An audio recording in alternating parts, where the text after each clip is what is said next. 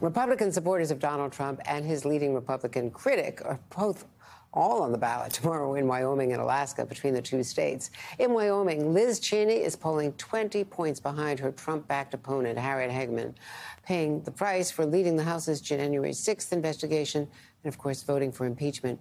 If she loses as expected, her closing ad struck a national theme, reinforcing speculation that she might end up running for president.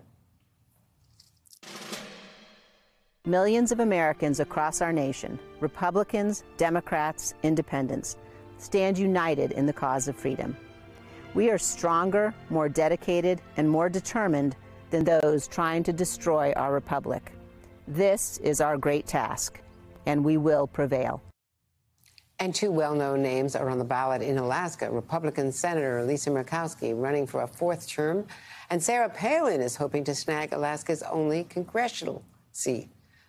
Imagine Sarah Palin in Congress. Joining me now, NBC News correspondents Vaughn Hillyard in Jackson, Wyoming, and Ali Vitali in Anchorage, Alaska, and with me in Washington, Mark Murray, NBC News senior political editor.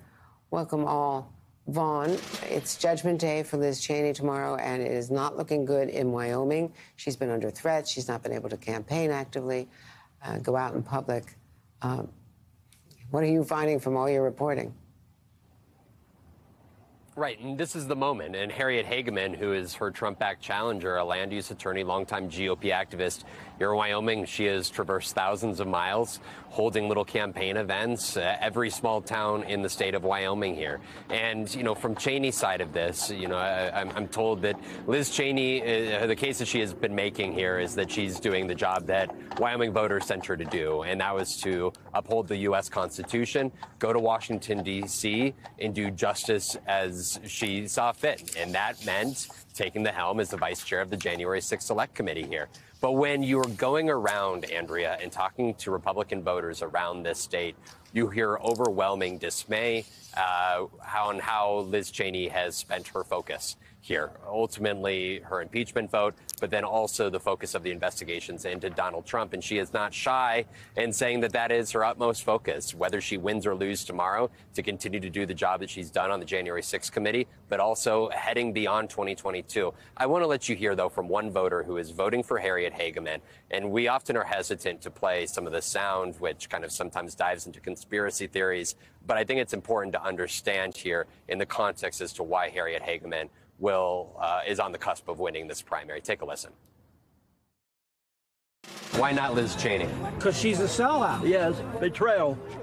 Anti-gun, anti-American get out of here. She did not. She didn't back our man Trump like she's supposed to. Do you think that the January 6th insurrection did not uh, amount to enough of a reason to have an investigation?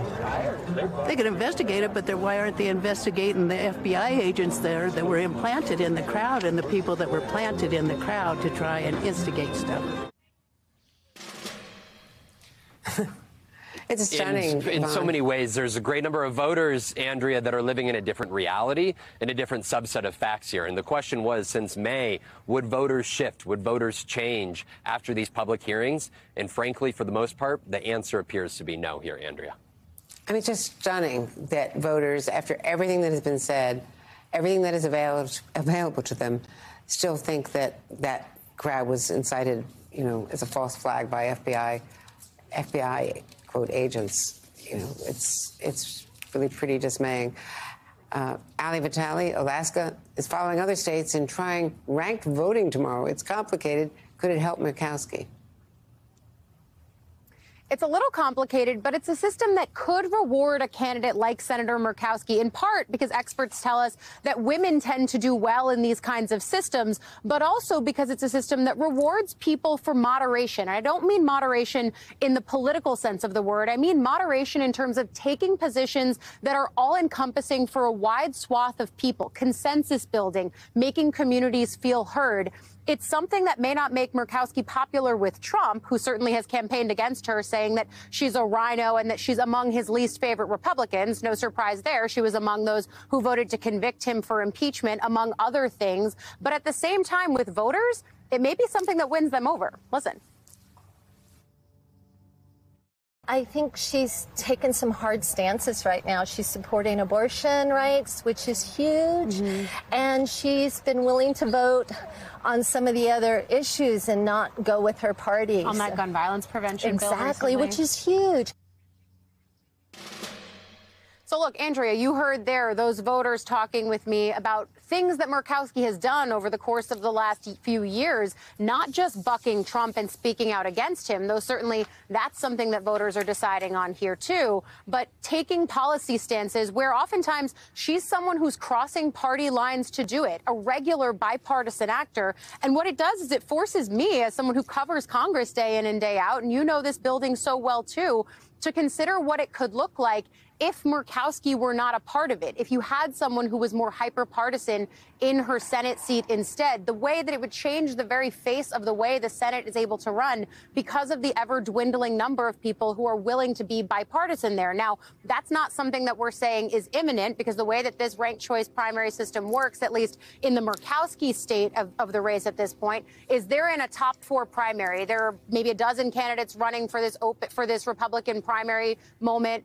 Murkowski is expected to be in the top four. That means that then she advances to November. But certainly it does force you to think about the ways that she plays a pivotal and interesting role in Congress as Alaska voters decide here. Indeed. And uh, arguably, of course, as Liz Cheney does on the House side.